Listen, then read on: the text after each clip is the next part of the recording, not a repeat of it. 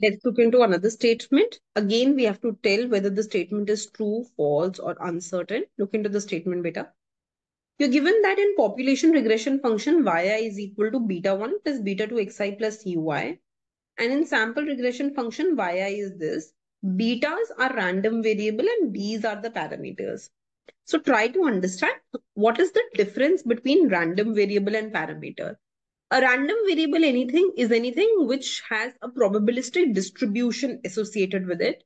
It is anything which keeps changing its value, right? Whereas a parameter is supposed to be fixed and is supposed to have just one particular value. And uh, if I look into the betas or b's, both of them are supposed to be the parameter. The only difference that we have in this case is that when we talk about betas, these are supposed to be called as the population regression function parameters. Right? These are the population parameters.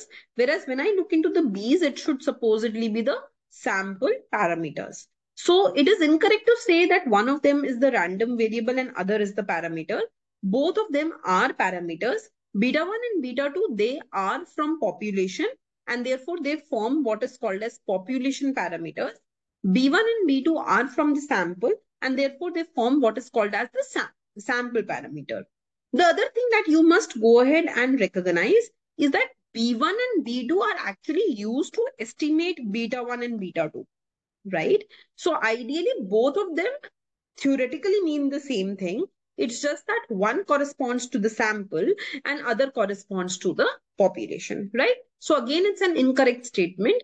Both of them actually are parameters.